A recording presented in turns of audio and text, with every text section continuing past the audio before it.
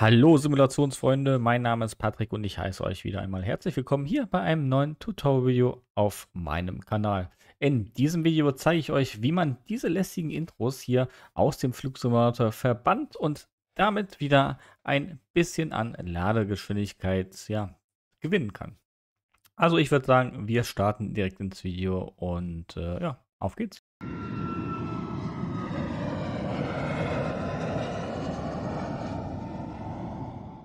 Mich persönlich nerven ja diese lästigen Intros vom Flugsimulator. Daher zeige ich euch heute mal einen Trick, wie ihr diese auch entfernen könnt, wenn euch diese denn auch äh, überhaupt stören. Ja, ihr könnt natürlich weiter durchlaufen lassen, aber ja, ein bisschen Ladezeit gewinnen ist nicht schlecht. Und dieses Mal ähm, bin ich euch äh, auch euren Kommentaren vom letzten Video nachgegangen und ähm, macht das Ganze jetzt auch mal ähm, ja, mit einer Stoppuhr oder Zeituhr, damit ihr seht, wie viel Ladezeit das bei mir ausmacht. Roundabout sind es immer so 30 Sekunden, also ich denke, das wird bei euch auch so sein.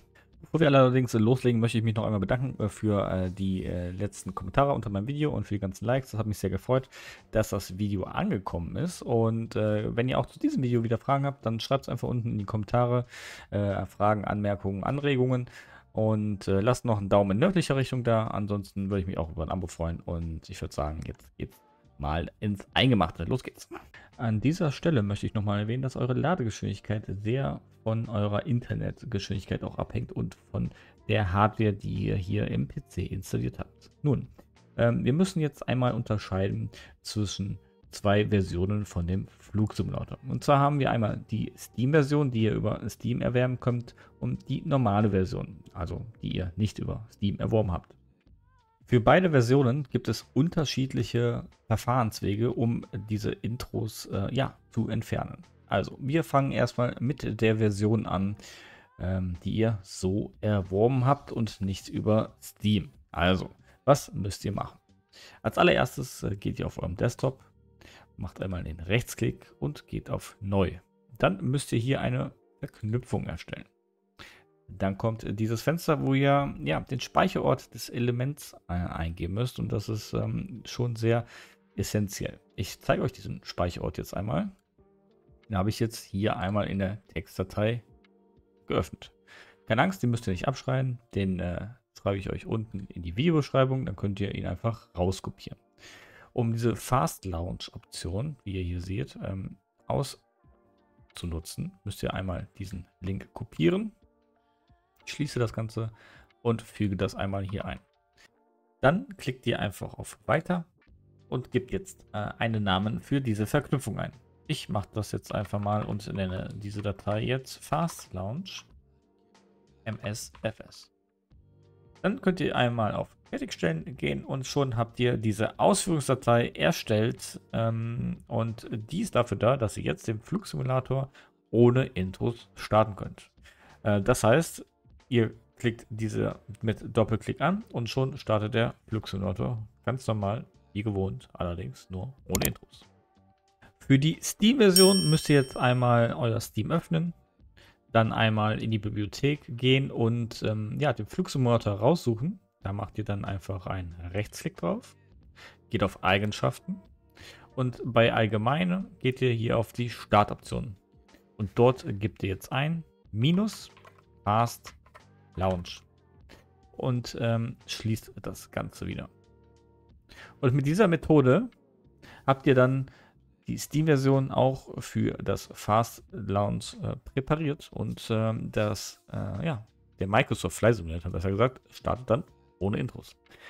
Ich äh, mache euch jetzt mal einen Splitscreen. Auf der rechten Seite seht ihr einmal den Ladevorgang des Flugsimulators ohne Intros und auf der linken seht ihr den normalen Ladevorgang auf meinem Rechner mit Intros. Also, und los geht's. Ähm, auf der linken Seite seht ihr jetzt einmal das komplette ähm, Startup mit Intro und auf der rechten einmal ohne Intros. Und äh, wie ihr jetzt hier gerade am Anfang auch gesehen habt, ähm, braucht der Simulator immer noch seine gewisse Zeit, um das ganze Spiel überhaupt zu starten. Also ähm, daran hat sich nichts geändert an dieser ganzen Thematik. Wundert euch nicht. Ähm, wir haben jetzt hier ähm, die ähm, ganzen Clips, habe ich hier ein bisschen vorgespult, damit das nicht ewig dauert, weil mein Simulator lädt mittlerweile wirklich äh, sehr langsam, weil ich so viele Add-ons installiert habe. Deshalb ähm, das, äh, hat das Ganze hier auch ähm, ja, verschiedene Auswirkungen auf verschiedene Systeme, ja, wie ich äh, sagen möchte. Wie ihr seht, ist das auch gleich am Ende bei mir, dass es bei mir nicht so einen riesigen Zeitunterschied macht, ähm, weil mein Simulator schon einfach so voll ist. Aber vielleicht habt ihr ja dadurch ähm, ja, eine bessere Performance. Und äh, wie ich schon gesagt habe, das ist halt von System zu System unterschiedlich. So, auf der rechten Seite ist der einmal ohne Intro. Der müsste jetzt ähm, jeden Augenblick auch äh, schon fertig sein. Und wir haben äh, dann eine Zeit von 1 Minute 15 und 42 Sekunden. Und auf der linken Seite haben wir eine Zeit von 1 Minute und 19 Sekunden. Wie ihr nun gesehen habt, hat das Ganze bei mir ganze zwei Sekunden gebracht. Für den einen oder anderen ist das natürlich nicht viel, aber für einen Flugsimulator-Kollegen von mir hat dieser Trick ganze 30 Sekunden gebracht. Wieso ist das so? Wie ich schon anfangs erwähnt habe, von System zu System schwankt das sehr stark, je nachdem, wie viel ihr ähm, ja auch in eurem Community-Folder habt. Wie gut eure Hardware ist und wie schnell eure Internetverbindung ist. So, das Video ist hiermit beendet. Also, ich würde mich freuen, ähm, wenn ihr eure Erfahrungen unten in die Kommentare schreibt, wie viel Zeit ihr eingespart habt. Vielleicht könnt ihr das ja messen. Ansonsten würde ich mich auch über einen äh, Daumen in nördliche Richtung freuen. Und ich würde sagen, wir sehen uns das nächste Mal in einem weiteren Video von mir. Bis dann, auf Wiedersehen, euer Patrick. Ciao.